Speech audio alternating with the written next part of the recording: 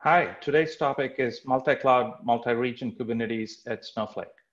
My name is Raman Hariharan. I'm the Director of Cloud Platform Engineering here at Snowflake. Uh, we at Snowflake are building a, a cloud data platform to break down data silos and enabling uh, data collaboration capabilities while leveraging the near endless performance and scale of the cloud. The experience I'm going to talk about is one of the flagship products that we were working on at the beginning of the year.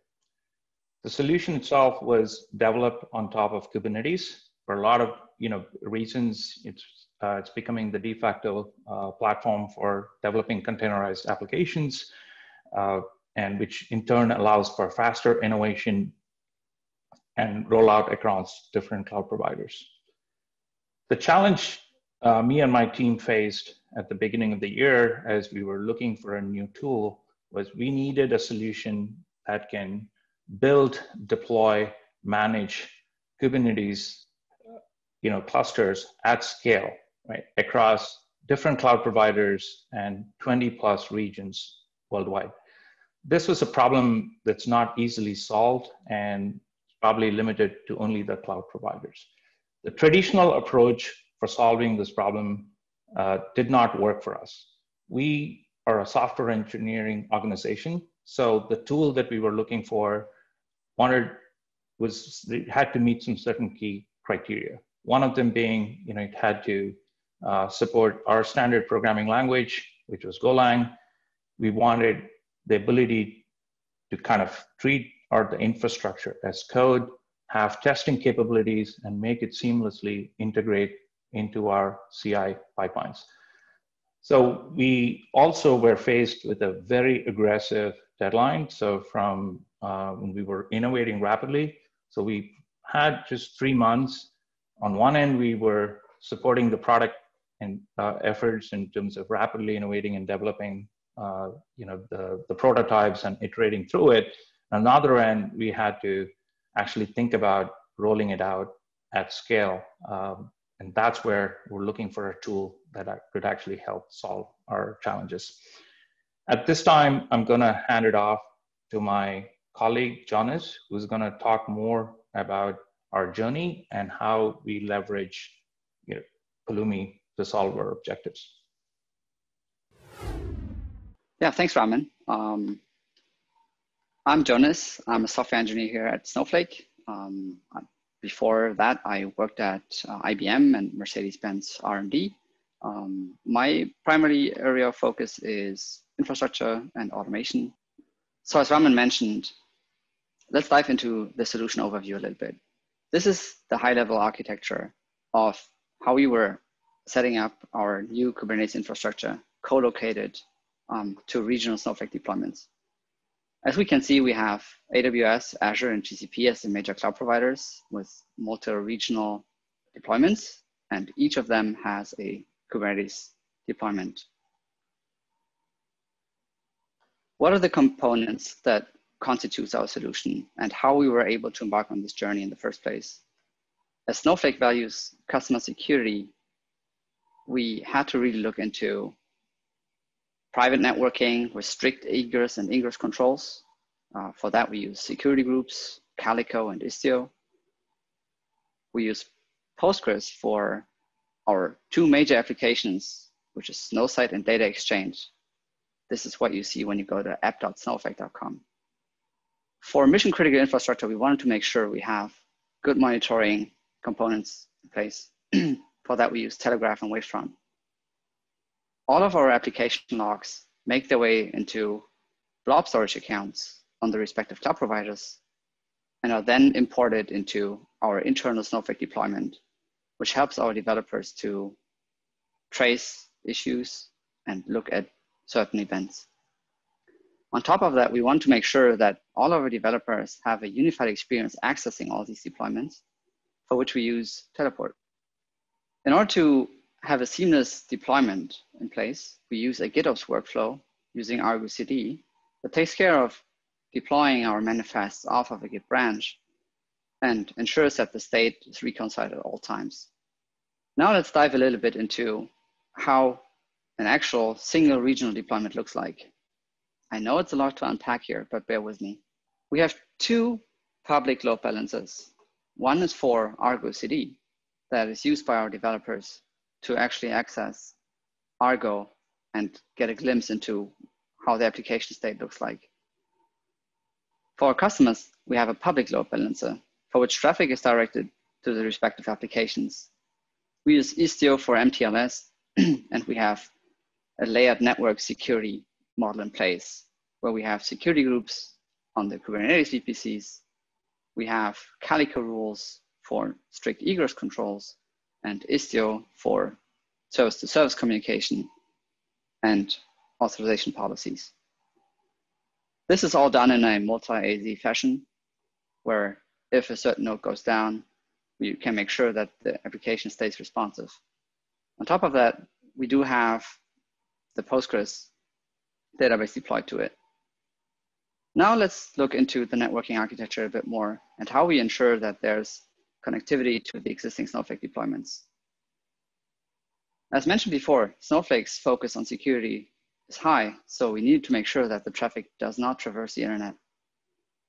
We started out with having a big co-located Kubernetes VPC that uses VPC peering to the regional Snowflake deployments using an internal load balancer on the Snowflake side and a core VPC that hosts shared services. For monitoring, we use Telegraf as a daemon set running on each node, forwarding statsd metrics to Wavefront proxy, which end up in Wavefront. Wavefront really is our view into what's happening live in over 30 clusters today. We do use Pingdom for uptime checks, so we get alerted on that, and we use PagerDuty for incident response. For logging, we use FluentD as a daemon set on each node tails the Docker logs and forwards them to the respective storage location based on the cluster. So for AWS, our logs go to S3, and for Azure, they go to Azure Blob. Down here, you see a small glimpse of our Snowflake UI and how our developers are able to retrieve the logs. So now let's talk about how we were able to manage all these deployments and how we were able to create reliable and repeatable automation. For our infrastructure deployments, we use Pulumi. All of our platform components reside in Git. We use Argo CD that is, that is managed via Git cluster autoscaler, logging and monitoring components, and a bunch of custom Kubernetes controllers that helps us automating even further. In these repos, a mix of customized resources and Helm charts reside. Argo CD reconciles the state that is based on Git. Our internal customers have their own repos where they host their application manifests. Let's look how a deployment pipeline helps our developers to get the applications deployed. We have a developer pushing a commit to Git, and the specific branch of that application is picked up by Argo CD. Argo CD then goes ahead and deploys all the application components into the respective customer's namespace. The clusters itself are deployed by Pulumi. Now let's have a look at a small demo of how that could look like using Pulumi. What I'm about to show you is a setup that uses microstacks to separate infrastructure layers from each other so they can evolve independently, similar to the notion of microservices. We also be using the next generation Azure provider that has access to a broad and extensive list of Azure APIs using the Go SDK. By using the automation API, we are able to have an easy orchestration layer for stack updates across multiple stacks. We also make sure that we use a custom secrets provider to keep our state secure using our own provided key. I switched over to my terminal here. So let me give you a quick overview of what the code does. We have two projects, Network and Kubernetes. Network provides a shared layer of networking resources that are going to be used by Kubernetes. Let's have a look. As it's customary for Azure, first we create a resource group. Next, we create a virtual network, as seen here. with a CIDR notation and a private IP space. We then go ahead and create a subnet as seen here that does not span the full VNet. Last, we're going to export certain properties that are needed by Kubernetes. Now let's switch over to Kubernetes and see how that looks. First, we create a stack reference to read off of the remote stack and retrieve the properties that we need for our cluster. We then go ahead and create an SSH key pair that is needed to access the worker nodes. And then we create a Kubernetes cluster. As you can see, we also limit the access to the API server to a certain IP, which already shows the power of using a real programming language. We're calling another Go function here.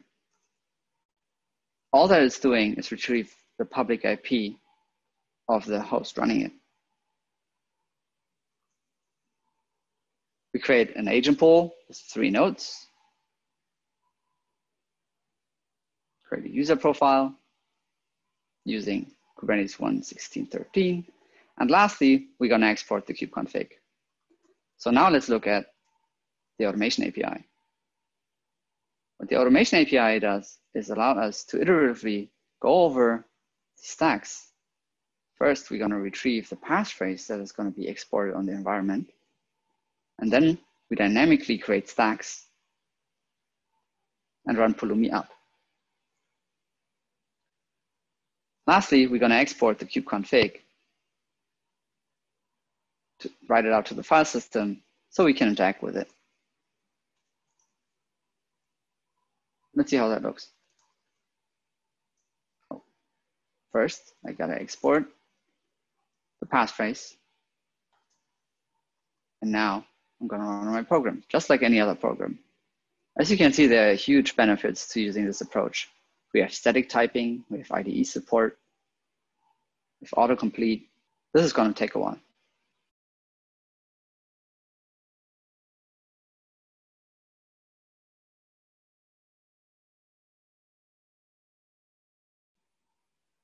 All right, great. Our stack has been deployed.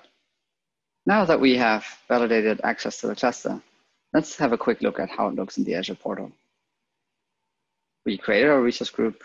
We have that cluster and the VNet with our custom tags on it. So working with Pulumi helped us get to our goal fast. First, we were able to use a standardized language and framework. We have full IDE support. That includes debugging.